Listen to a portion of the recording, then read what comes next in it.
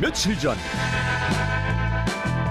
갑자기 소집된 회의에 고심하는 척하는 사람들 과연 이 긴급 회의의 주제는 뭔가 그 획기적으로 조회수를 올릴 수 있는 방법은 없을까요? 뭐 조회수 올리는 방법이 있지. 그 뭐 뭐 조회수 높은 방송을 뭐 벤치마킹을 하는 거지. 그래서 제가 그래서 특별히 준비한 것은 아 뭐야 이건 또 조회수 개선안. 먹방, ASMR, 슬라임 그러면 잠깐만 이 중에 뭘 하라는 거야? 그건 안녕하세요. MC 한현민입니다. 오늘은 특별히 과톡을 먹방을 하면서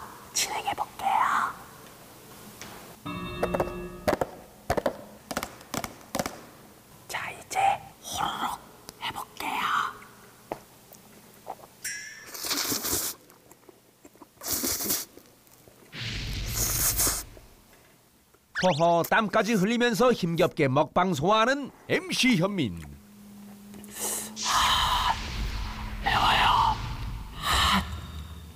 이럴 때마다? 핫 이슈다. 이번 주 핫 이슈. 이달의 과학기술인상 5월 수상자가 선정됐습니다.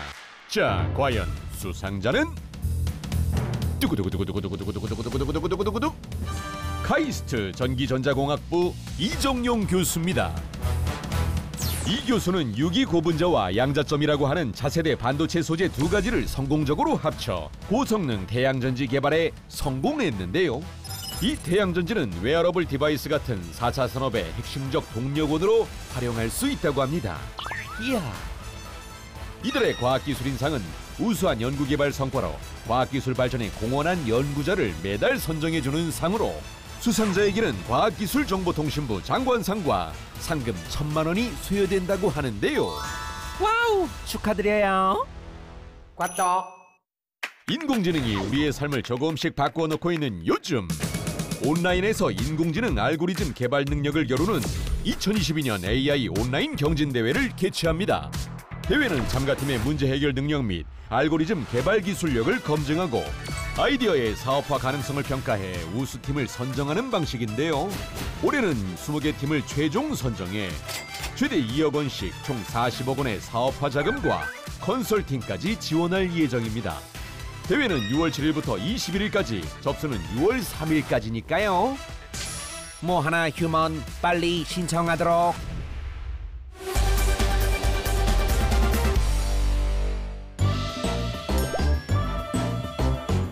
자, 여러분 이렇게 핫이슈까지 만나보셨는데요.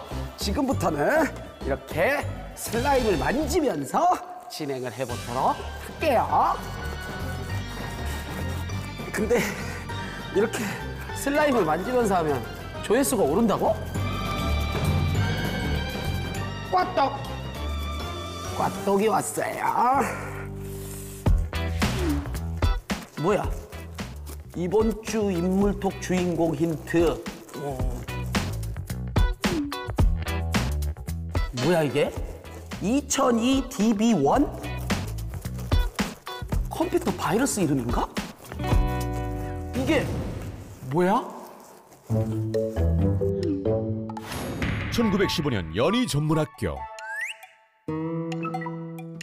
어, 그래서 여기 이렇게 A 플러스 B는 어, X가 된다 이렇게 풀 수 있다는 거예요. 어, 혹시 이 풀이를 다르게 해석해 볼 사람? 저요. 어 그래 원철. 선생님, 저 숫자들을 보아하니 자기네들을 막 풀어달라고 아우성 치는 것 같네요. 기다려. 내가 곧장 풀어줄 테니까. 그, 그렇구나.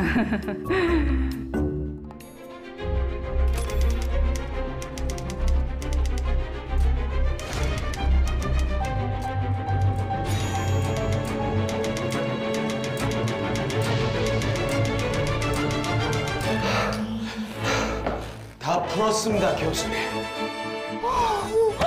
원철 정말 대단해요. 학교 내에서 발군의 수학 실력으로 유명했던 이원철 학생. 그는 교수도 풀지 못하는 문제를 여러 차례 해결해냈고 원철 학생, 아, 네, 선생님. 혹시 강사해 볼 생각 없나요? 예? 가- 강사요? 저 학생인데요. 그럼 학생 강사라고 하죠 뭐. 학생 강사? 능력을 인정받은 그는 학생 강사라는 신분으로 학생들에게 통계학 강의를 하기도 했다. 그는 졸업 후에도 학교에 남아 수학 강사 일을 계속했는데 그의 재능을 알아본 물리학자 베커 교수와 천문학자 루퍼스 교수는 그에게 미국 유학의 길을 열어주었다.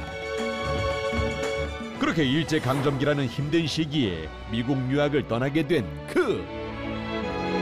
많은 분들의 도움으로 이곳까지 왔는데 꼭 성과를 내야 돼. 그는 단 몇 개월 만에 학부 과정을 마무리하고 미시간 대학에서 천문학으로 석사 학위와 박사 학위를 취득했다. 이는 한국 최초의 이학 박사의 탄생이었다. 특히 그의 박사 논문은 큰 주목을 받았는데 자, 지금 보시는 이 독수리 자리에는 에타별이라는 것이 있는데 에타별은 맥동 변광성입니다. 맥동 변광성이란 팽창과 수축을 되풀이하며 밝기가 변하는 별이라는 뜻으로 미국의 셰플리라는 학자가 내놓은 가설이었지만 당시 이 가설을 명확히 입증한 연구는 없는 상황이었다. 하지만 이원철 박사는 망원경과 프리즘 분광기를 이용해 71회의 관측 결과를 얻었고 이를 세밀하게 분석, 계산했다. 그리고 그의 발견은 미국 천문학회 학술지에도 실렸다. 하지만 그의 연구 활동은 계속 이어지지 못했는데 돌아온 조선에서는 미국과 같은 천문학 장비를 구할 수 없었기 때문이었다. 지금 조선에 필요한 건 연구가 아니야. 바로 교육이야. 학생들에게 전문적인 과학을 가르쳐야 해. 그는 자신이 배운 것을 토대로 천문학 강좌를 열었고 국내 최초로 연희 전문학교에 현대식 굴절 망원경을 설치해 학생들에게 천체 관측을 지도하기도 했다. 그러던 1938년 조센진 교수. 하이, 그 조센진 교수와 그 조센진 인재 양성 이빠이 됐네. 나니? 또그 독립운동 간바tte 간바tte 데스. 이 나니? 이 당장 학교에서 심하이 데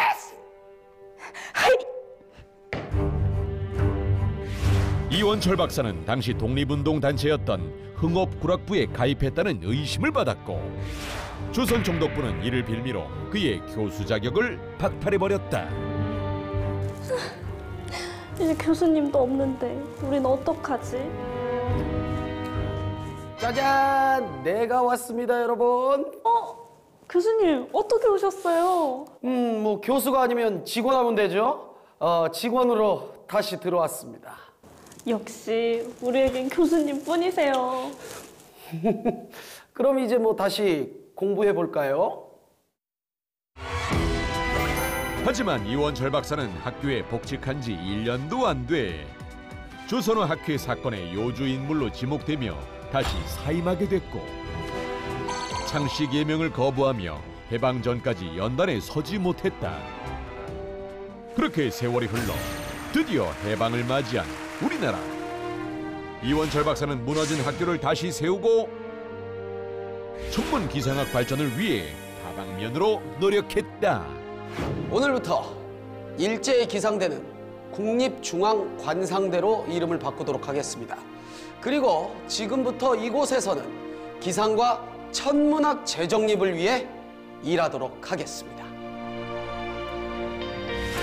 그는 관측과 예보, 통계를 담당하는 기상부서를 만들었고 천문학의 기본이 되는 천문 역서를 제작해 배포하는 작업을 시작했다.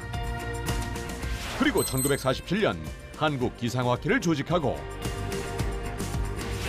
우리나라 최초 공과대학인 인하공과대학 창설을 주도하며 체계적인 과학기술 발전에 힘썼다.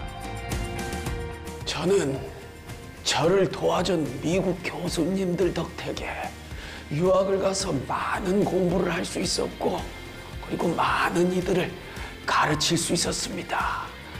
이제는 저도 그걸 돌려주려고 합니다. 이원철 박사는 말년에 집과 토지 등 전 재산을 한 단체에 기부하며 마지막까지 사회봉사를 몸소 실천했고 그의 도움으로 많은 학생들이 후원을 받게 됐다. 그 후 2002년 한국 전문연구원은 한 소행성을 발견했고 2002 DB1이라는 임시 이름을 가졌던 소행성에 이원철 박사의 이름을 붙였다. 일제강점기란 암흑 같은 시기 과학계를 빛낸 그의 업적은 그의 이름을 딴 소행성처럼 지금도 아름답게 빛나고 있다.